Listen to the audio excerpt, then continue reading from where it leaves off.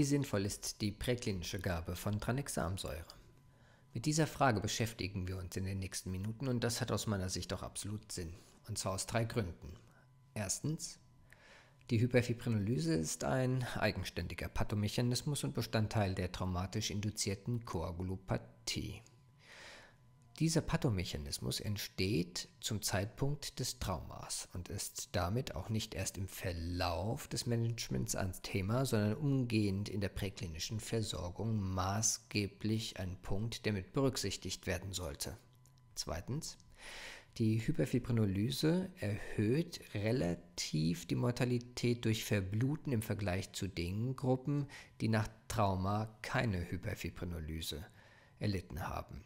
Damit hat das Thema Hyperfibrinolyse maßgeblich große Konsequenzen für das Outcome unserer Patientinnen und Patienten. Und drittens, wir wissen, dass die frühzeitige, also präklinische Gabe von Tranexamsäure tatsächlich auch bereits im Schockraum zur Stabilisierung eines Klotz führt. Das heißt, dass das Antifibrinolytikum, wenn wir es präklinisch applizieren, genau das macht, was es soll. Es stabilisiert den Klott und wirkt der Hyperfibrinolyse entgegen. Behält man diese drei Punkte im Hinterkopf, kann man sich sehr gut vorstellen, warum es wichtig ist zu diskutieren, inwiefern es sinnvoll ist, die Tranexamsäure bereits in der Präklinik zu applizieren. Zwischenzeitlich hat man zu dieser Fragestellung schon einiges an Untersuchungen publiziert. Beginnend mit Analysen aus militärischem Setting, also Trauma durch irgendwelche Gefechtssituationen, wurde im weiteren Verlauf auch präklinisch unter zivilen Bedingungen Tranexamsäure appliziert und die Wirkung untersucht. Eine der mit Sicherheit bekanntesten und vielleicht auch eine der wichtigsten Untersuchungen, weil sie dann alles weiter ins Rollen brachte, ist die berühmte Crash-2-Studie, die 2010 publiziert wurde und dazu führte, dass in den Rettungsdienstbereichen in Deutschland exponentiell zunehmend Tranexamsäure auf den Rettungsmitteln vorgehalten wurde.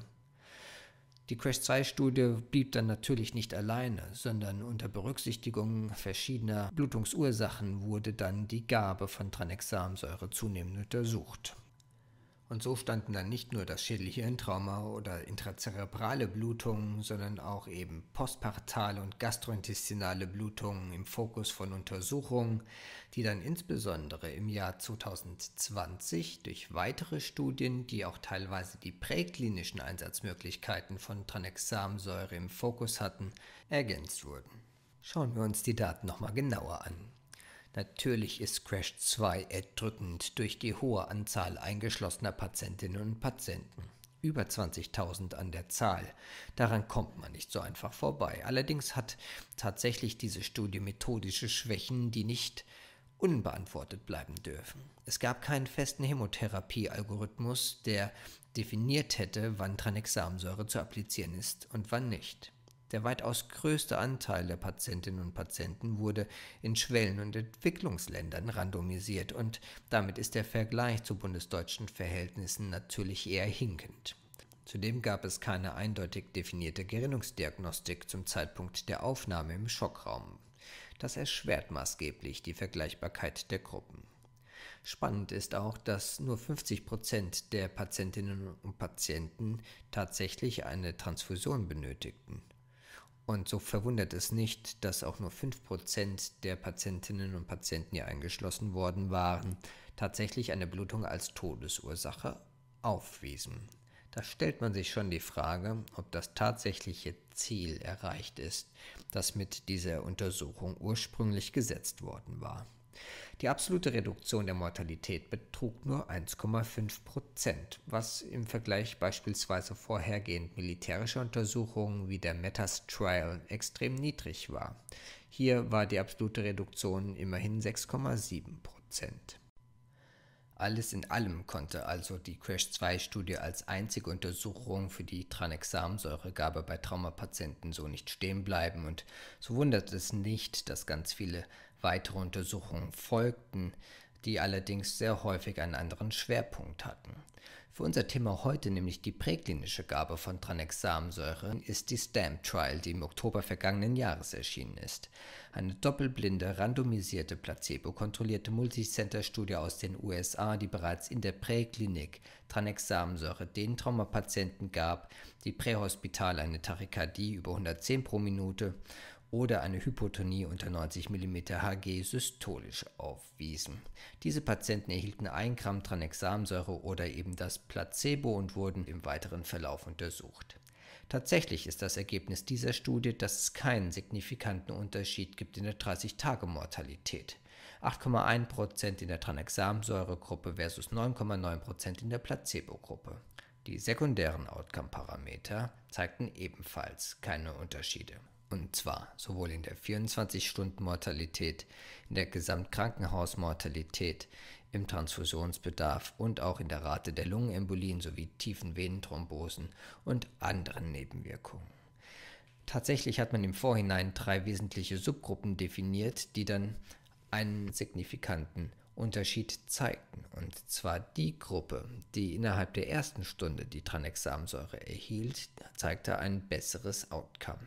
Traumapatienten in schweren Schockgeschehen zeigten ein signifikant besseres Überleben im Vergleich zu denen, die Placebo erhielten und die Subgruppe der Patienten, die insgesamt höhere Dosierungen an Tranexamsäure erhielten, also bis zu 3 Gramm, hatten ebenfalls eine bessere Überlebenschance.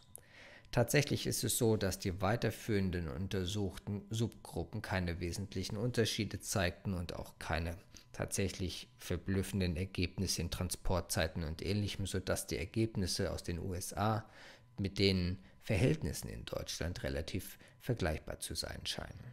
Die Schlussfolgerung aus dieser Untersuchung scheint zu sein, dass Tranexamsäure extrem früh gegeben werden sollte, insbesondere bei den Patienten, die ein wirklich schweres Trauma mit schwerer Blutungssituation haben, und dass genau diese Patienten dann davon zu profitieren scheinen.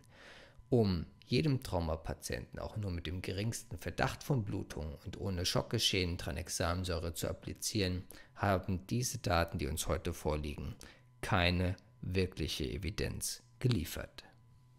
Allerdings gibt es ja auch noch spezielle Traumata, natürlich im Kontext mit Tranexamsäure, die nicht vergessen werden dürfen. Und hier meine ich im Speziellen das isolierte Schädelhirntrauma und damit kommt man unweigerlich zur Crash-3-Studie. Die Crash-3-Studie war ebenfalls eine randomisierte, doppelverblindete, placebo-kontrollierte Studie, die in 175 Kliniken aus 29 Ländern durchgeführt worden ist.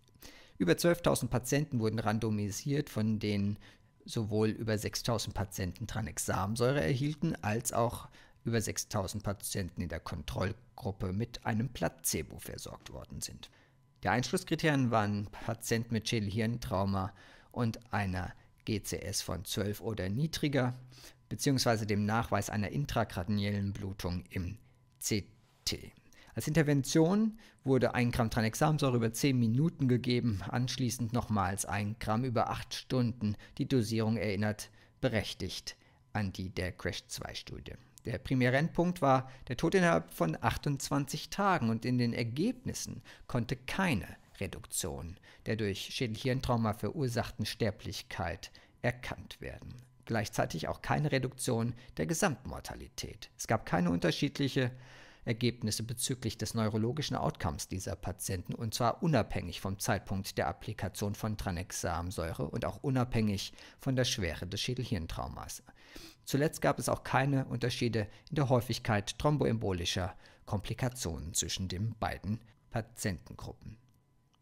Schaut man sich die Patienten an, die präklinisch Tranexamsäure erhielten und überprüft das neurologische Outcome nach sechs Monaten, kann man sich sehr schön jetzt der Untersuchung von Susan Roll behelfen, die im JAMA 2020 genau das untersucht hat. In einer multizentrischen, doppelverblindeten und randomisierten Studie an über 20 Traumazentren hat sie untersucht, ob die Tranexamsäuregabe in der Präklinik genau auf dieses neurologische Outcome tatsächlich einen Einfluss hat oder eben nicht. Und tatsächlich kam als Ergebnis heraus, dass bei Patienten mit äh, nicht ganz so schwerem, also einem eher moderaten Schädelhirntrauma, die präklinisch Tranexamsäure erhalten hat, nicht signifikant davon profitierten, wenn man sich den primären Endpunkt anschaut. Auf dem Boden dieser Ergebnisse muss jetzt berechtigt in Frage gestellt werden, ob Tranexamsäure bei Patienten mit isoliertem Schädelhirntrauma tatsächlich angebracht ist. Gut, nun kann man natürlich sagen, dass Blut im Kopf nicht nur nach Trauma entsteht, sondern auch eine spontane intrazerebrale Blutung oder eine Subarachnoidalblutung die Ursache für Blut im Kopf sein kann, also ein Blutungsgeschehen, das ebenfalls eine Gerinnungstherapie eventuell benötigen würde. Mein Gegenargument für den heutigen Tag und diesen heutigen Vortrag, der die präklinische Gabe von Tranexamsäure in den Fokus stellt, ist, dass wir im präklinischen Rettungsdienstbereich nicht in der Lage sein werden, vor CT-Untersuchungen tatsächlich zu beweisen, dass es sich nicht um eine chemische, sondern um eine blutige Genese handelt. Dennoch nur so viel dazu. Sowohl die TITCH-2-Study als auch die Ultra-Study zeigen keinen wesentlichen Vorteil für die Patienten, die in den randomisiert kontrollierten Studien Tranexamsäure erhielten. Ein Grund mehr, sich präklinisch bei einem solchen Verdachtsmoment zurückzuhalten, bis in den zentralen Notaufnahmen durch CT tatsächlich die Blutung von dem ischämischen Geschehen differenziert worden ist bleiben noch zwei Blutungssituationen, die auch im präklinischen Bereich sicherlich ohne erweiterte Diagnostik erkannt werden könnten. Einerseits die postpartale Blutung und andererseits die gastrointestinale Blutung.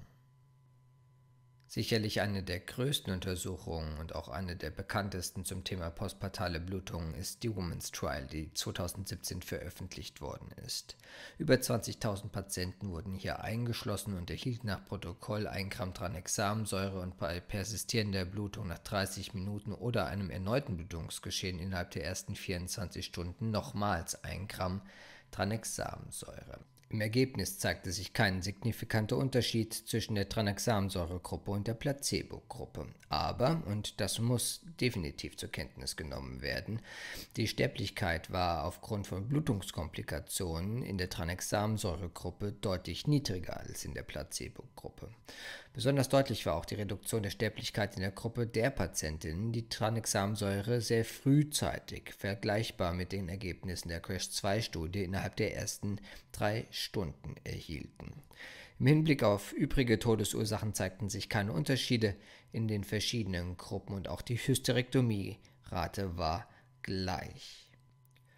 Meine persönliche Ansicht, auch im Hinblick auf diese Untersuchung, ist allerdings eindeutig. Wir erkennen die postpartale Blutung zu spät. Blutverluste werden häufig deutlich unterschätzt und wenn wir jetzt diese Ergebnisse mit in Betracht ziehen, wissen wir, dass nur die frühzeitige Gabe von Tranexamsäure tatsächlich in den Subgruppen zu einem besseren Erfolg führt und wenn man jetzt noch mit in Betracht zieht, dass die Komplikationsrate zwischen den beiden Gruppen, also der Tranexamsäuregruppe und der der Placebo, gleich war, sehe ich hier eher eine Indikation für die aggressive und frühzeitige Applikation von Tranexamsäure, wenn der Verdacht auf eine postpartale Blutung gestellt ist.